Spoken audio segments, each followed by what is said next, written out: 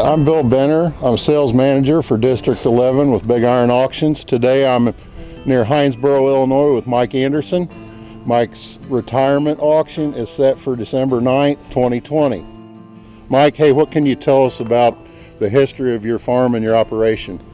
Well, this farm, my dad moved here in uh, 1960, I guess, when dad moved here. And I've been on this farm ever since that date and dad farmed from that time till the middle 80s and then he retired. I came back from school in 1974 to the farm and farmed with dad till the mid 80s and then dad retired and then I've farmed at everything from the mid 80s till now then.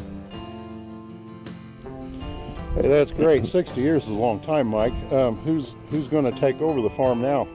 My son, uh, he's a football coach and a teacher, so that's the only that's the only other way we had to go. So it's now rented out to a neighbor that's about two miles down the road, and he's got young boys, and I have a feeling that it's going to go from him right down to them, and probably continue with their family for a long time. Go to bigiron.com and check out the Mike Anderson auction, and you can see the rest of the equipment that he has listed. In addition, I wanted to add that the week before, on December 2nd, 2020, we're going to have an open house for Mike's retirement auction right here at the farm from 11 to 2. Uh, lunch will be served uh, and all the equipment will be here for your inspection.